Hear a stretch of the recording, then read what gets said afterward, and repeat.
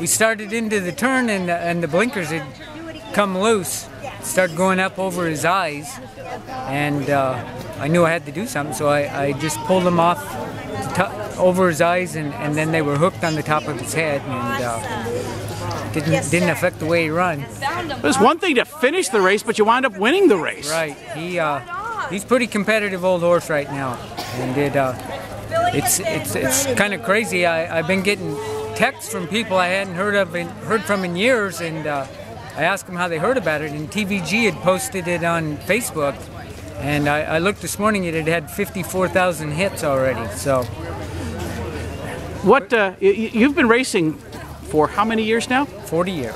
And have you ever had anything like this happen to you? No, I, I've had I've had the uh, shadow roll come loose and go up over the eyes, but never the blinkers. What were you thinking when you finished and won the thing?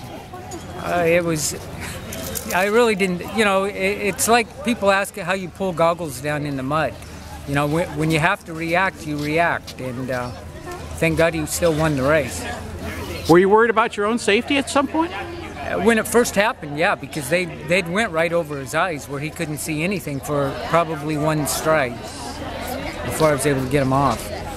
Must have been the, one of the longest races of your life. No, actually, it went very fast, and, and you know, once I got him pulled up where he could see, it, it wasn't a problem after that.